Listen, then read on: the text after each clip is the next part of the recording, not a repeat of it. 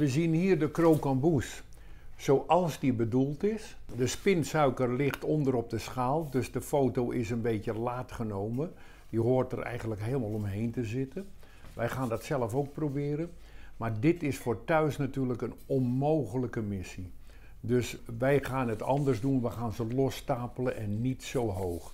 Dit is de versie van chef Damme. Ik zei tegen chef, hoe, hoe, deed je dat? Want hij maakte soms torens van 100. Ik zeg, en als hij die dan helemaal vult met slagroom, dan stort hij toch onder zijn eigen gewicht in. Hij zegt, maar ze waren leeg. Je had van roestvestalen en vroeger zink. Er werd ingeolied met arachideolie of zonnebloemolie. Daar werd omheen gewerkt. En na afkoeling tilden ze die hele lege toren van die punt af en zetten hem op een schaal. Ze hebben soesjes gevuld met gele room. Die dopen ze in de karamel als stenen. En als dat afgekoeld is, is het steenhard. Dan tillen ze hem met beide handen op en zetten hem op een schaal. Maar leeg. Want chef zegt, ja, maar de soesjes zijn toch gevuld? En drie à vier soesjes per persoon. Klaar. En dan heb ik hier Michel Roux. Een grootheid. Maar dit is prachtig. Hij maakt eerst een sokkel van Noga-werk met amandelen erin en dan garneert hij het ook en daar zet hij die toren op. Hier zie je dat het een bruidstaart is. Ja, dit is natuurlijk onmogelijk voor ons. We worden er wel door geïnspireerd, maar dat gaan we niet doen. 450 gram suiker. Kristalsuiker? Kristalsuiker, grove kristalsuiker, dus gewoon de normale. Hè? Er hoeft geen fijne suiker te zijn. 150, een derde water. Gooi er maar gelijk op. Krijg je even een lepel om een beetje door te roeren. Dank. En zo weinig mogelijk roeren. Zo, zo is het goed. Haal hem er maar uit. Hij moet naar 160 graden. We gaan, niet, we gaan hier geen thermometer bij halen. 155, 160, dat noemen de Fransen amberkleurig. En wij zeggen blond. Blond. Dus net even een tint, Dat lichte een tint. beetje eh, En dan, is. en dan, als die zover is, dan zetten we hem één seconde met zijn achterste in, in een bakje koud water. Dat hij stopt, want anders gaat hij door, hè? want het is een dikke bodem. En dan zetten we hem op een doek. Dan gaan we de soesjes die inmiddels dan gevuld zijn met gele room, die gaan we doorhalen met een vorkje. En dan maken we er een toren van. En dat is een krokambous. Oké. Gele room glad roeren uit de koelkast. Ik pak een schaaltje. Deze hadden we net eh, op een plateautje gelegd om af te koelen. Die is nu koud. En die gaan we nu in de spuit. Nou, Ja, eerst Ik moet je corrigeren. Eerst glad roeren. Gooi maar in het schaaltje. Kijk, als je dit in een spuitzak zou doen, Nee, eerst goed. het glad roeren. Kijk eens. Heel even, als hij zo doet, dan laat hij los. Zie je? Oh ja. Glad roeren en hierin doen. Ja? Oké. Oké. Oké. We vullen die sushis alvast. In tegenstelling wat Constant deed met zijn eh, eendenlevercrème, of ganzenlever. Want die moest na de suiker. Dit kan tegen de grootst mogelijke hitte, snap je? Ja. Dus dit gaat nu in de spuitzak. Nou, gat schoon, eh, gaat er allemaal maar in en ik ga gaatjes prikken. Ik ga zo met een scherp mesje een gaatje aan de onderkant maken, zodat het spuitje er zo in kan. Oké, dit erin. Ja. Klein spuitje inderdaad. Want het gaat makkelijk met die kleine soesjes om te vullen. Zo.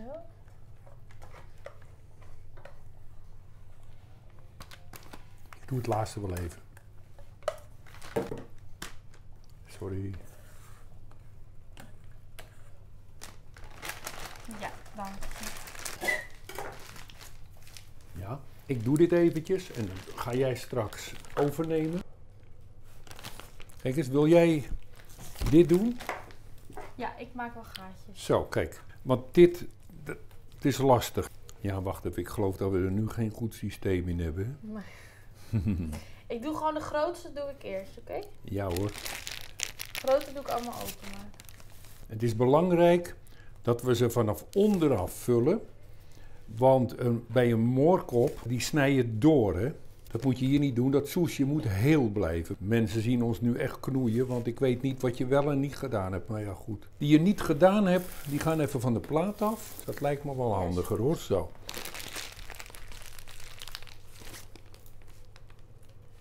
Stella? 156, 157. En dit noemen we nu blond. Amberkleurig, blond. Nu zet ik hem 1 seconde. In het even koude water. Ja. In een. Hup, stopt hij. En dan leg ik hem even op een doekje. Zo, een beetje schuin. We houden het kookplaatje in de buurt. Als hij straks wat, als hij straks wat trager wordt, dikker, dan gaat hij er weer even op. En dan zetten we het kookplaatje bijvoorbeeld op 2. Dat die vloeibaar blijft. Nou ja, laat mij dit nu even doen. Ja? Kijk, zo gaat dat. En je zet ze op de plank. Ja, we zetten ze gewoon op de bank. Kijk, een vork. Wauw. zie je? Zo, ik prik hem er zo in. Ik doop hem niet al te diep. En dit wordt straks als glas. Eerst groot, hè? Ik, ik begin, ja nee, ik, ik probeer ze allemaal te doen. En dan gaan we straks kiezen. Heel mooi. Eh, we gaan gewoon een bouwwerk maken. We beginnen met de grootste onderop. Kijk, je, je kan ze nu al Oké. Snap je? Niet te snel hoor. Want dan brand je je vingers. Ik zet ze gewoon zo neer. Dat je me eventjes ruimte geeft, zie je? Eh, constant, die zet ze zo weg. Dus die heeft een platte bovenkant. Maar bij een krokenboes kan je dat niet doen. Dan, dat is niet mooi, want je wil die ronding zien. Hij legt ze op zijn kop. Nog iets heel belangrijks. Je moet die- suiker met rust laten. Die belletjes ook zo mooi erin. Ja, nee, maar als je hierin gaat rommelen, dan gaat die grijnen. Dan gaat die kristalliseren. Dan ben je uitgespeeld. Want dan wordt het gewoon weer suiker. Auw, kut. Ja, ja pardon, wat zeg je? Laat het er maar in zitten. De- laat dat er maar op staan. Oh, dat is heel heet. Maar heb jij dit nog niet gehad? Nou, nee, dat, ik zal het je vertellen waarom het eh, heel heet is. Vroeger maakten we deze torens. En Angela, die was toen heel klein, die stond naast mij. Toen was ik spinsuiker aan het maken. Toen kwam er een druppel tussen de vingers. Zit En een dat, litteken ervan. dat kan je nog zien. Nu, v- 45 jaar later. Durf je het op te schuiven of... eh, Jawel. nou, nu even. Hoeveel graden is dit nu? 160. Het is een, op een gegeven moment is het 100 graden stellen. Als dat water verdampt, dan wordt hij steeds trager en op een gegeven moment dan krijgt hij deze kleur. Als hij deze kleur hebt, dan weet je dat hij glashard wordt. Je moet niet eerder zijn, want eh, eh, ja, als die suiker niet hard wordt, dan heb je een heel groot probleem als je een toren maakt. Hè. Ja, dan zak die in. Dan ga je verder met branden en dan krijg je 170. eh, en eh, dan wordt het donkere karamel. Die eh, suikerbakkers die hadden vroeger zeker 20 namen van 100 graden tot 200 graden. Nou, durf je niet? Jawel. Wat wij nu doen, zie je een bakker of een Franse bakker nooit doen. Want die bouwt ze gelijk om een kegel, een ingevette kegel heen. Hè? Wij gaan straks los stapelen. Eh, wat ze nooit doen. Want het is, in Frankrijk is het een bruidstaart. Hè? Mhm. Maar het wordt ook nog maar weinig gedaan hoor. Want het is heel kostbaar. En, en krijg wel veel van die En draden, als het, hoor, als het warm weer is, als je in het najaar, als het regenachtig weer is, dan stort die in. Vochtig weer. Dus dat zijn zoveel problemen. Nou, is het zo erg, Stella? Nee, het zijn die draadjes die los eh, laten. We hebben veel te veel, maar dat geeft niet. Komt ook wel weer op. Die druppels die je ziet zitten, die kan je er misschien afbreken. De suiker is trager geworden, zoals dat heet. Hè? Dan wordt die langzaam dikker. En dan is die geschikt om spinsuiker te maken. En dat gaan we even proberen. Die laatste zal ik wegzetten. Zou jij even een grote pan willen pakken? Die heb ik ervoor nodig. Doe maar twee. We gaan kijken of het lukt. We gaan spinsuiker maken van de laatste suiker. Die gaan we straks smelten. We gaan die suiker niet weggooien. Ja, god, wat kost nou suiker? Maar toch doen we het niet. Nou, eh, we gaan kijken of het lukt. Dat weet je nooit. De suiker is nu vrij traag. En ik heb een gatje, een waardeloos gatje met weinig draadjes. Waar kon ik eigenlijk niks, maar daar heb ik de uiteinden van afgeknipt met een nijptang. om dit mee te doen. Oh, zo. Had je het wel eens gezien? Nee? Zo gaat dat. Wat leuk. Gaat wel je tafel eraan, maar oké. Ehm, als je dit in het begin doet, dan is die suiker te slap. ja. Eh, dus in het begin is het te vloeibaar. Als je hem dan indoopt, vallen die druppeltjes gelijk terug in Wat de. mooi. Nou, dit is spinsuiker. Nou, je ziet het toch wel eens op de kermis. Ja, oké, maar dat gaat niet zo, toch? Ik ga dit eventjes zo hier neerleggen. Je moet het eigenlijk als een mooi bolletje vormen, toch? Zo. Ja, ja, ja. Even kijken hoor. Zo. Ja, ja. Zo. Ik ga maar even door aan wat we te veel hebben. Ja, ik stond dat toen te doen en toen kwam er een druppel tussen Angela haar handen. Want die, ja, god, de kinderen waren zo klein. Die stonden dikwijls in de bakkerij te kijken als ik dit aan het maken was. En dat gebeurde dan s'avonds. Daar wil ik nog wel even wat over zeggen. Dit wordt niet meer gemaakt, want eh, op de grachten en in Zuid hadden de mensen dit als afsluiting van een diner. Nou, dat was 11, 12 uur s'avonds. En dan stond ik zo'n ding na het werk om 7, 8 uur te maken. En dan moet hij er nog heen gebracht worden. Dus, de, dus Angela, die, die, die, die was dan even bij mij in de bakkerij, snap je? Ja. En toen, zie je, begrijp je, zo'n druppel tussen de vingers? Een Ja. heel klein ik handje. heb het, ik heb het nu zelf net ook. Ja, ja, want dat brandt door, hè. Dit is zo kwetsbaar allemaal. Kijk, dit kan je van tevoren maken, maar dit is zo weg. Alle soesjes zijn doorgehaald. Eh, het is heel eenvoudig om dit onder de kraan te zetten van we doen het weg. Maar dat gaan we niet doen. Die druppeltjes, die gooien we in de pan. Pak een beetje water. Zo. En dan zet ik het op een laag pitje. Kan jij een plemuurmes pakken? Ja. Dan schrap je de bank maar even juist.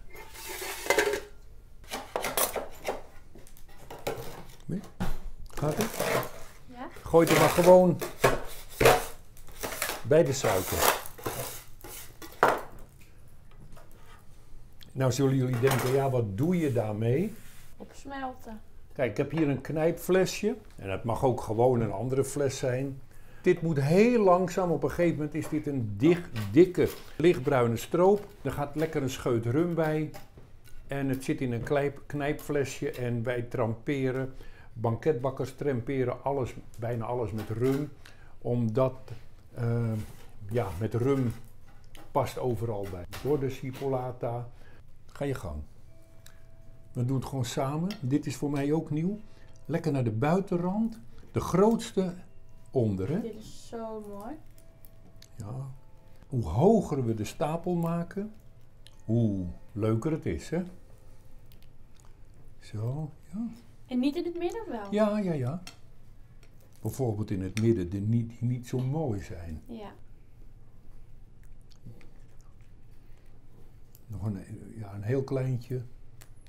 Zo. Nou, dan gaat er laag op. Je hoeft ze niet eh, te plakken aan elkaar met iets? Nee, nee, nee, zo. Nou, een beetje naar de buitenrand, want ik wil eigenlijk...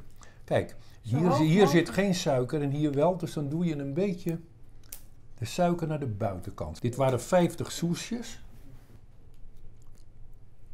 Deze. Ja, die is niet zo mooi. Nou, buitenrand. We gaan...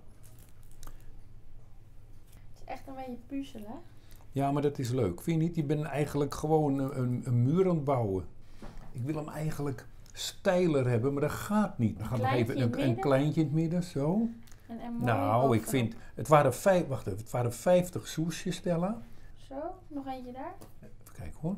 Zo. Zo. Nou, ik zal je vertellen. Zo. Ik, ik, ik weet het goed gemaakt. Die Deze. daar nog even. nee, zo. En nu nog één, want kijk, je hoeft er niet mee te lopen. hier. Ja, deze dan. Dit hebben we er niet om gedaan. Dan moet je nou eens kijken. Zo. Komt precies uit. Dit zijn er 50. Hoger krijg je hem niet. Ja, dus dit is een beetje kinderachtig. Als je het verschil ziet tussen een toren die de Franse patissiers maken en wij. Ja. Maar zo'n toren moet je thuis niet willen. Nu hebben we hier wat eetbare bloemen van kwekerij Ron. Uit Vinkenveen. Zo, probeer het, er probeer het eens. Kijk eens, die kleintjes hier bovenin. Die grote Kijk. ook doen? Die grote misschien hier. Kijk, ze zijn eetbaar, wat we natuurlijk niet gaan doen, hè. hè? Deze wel heel mooi. Prachtig. Daar, als je grote nog een beetje... daar. Ga jij je gang mee. Dat kan jij beter als ik. Kijk, dit zijn kleintjes. Van gele hier. Ik vind vooral die paarse, hè. Ja, Zie je dat? prachtig. En Jezus. dan die mooie blauwe hier nog even boven. Maar nogmaals, opeten, ach. Weet, nou, wacht even. Die bovenste niet. Ik, ik zou het zo oh laten. ja, oh ja. Ja, maar welke, wel- wat, wat zullen we... Die. Deze. Kijk, Wauw. je hebt natuurlijk wel iets bijzonders. Stel dat je hem wil maken, dan kan je het een uurtje of twee van tevoren, want als gasten er zijn, eh, dan moet je hier niet, dat gaat niet.